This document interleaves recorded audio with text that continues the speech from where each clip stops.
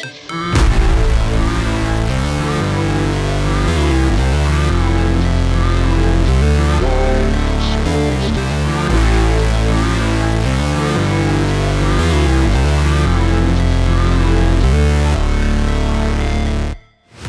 ایرانیان عزیز خدا رو شکر برای وجودتون برای غیرتتون برای اینکه هستین در کنار خانواده های همچون محسا امینی و دیگر خانواده هایی که عزیزانشون رو در مسیر عدالت خواهی از دست دادند.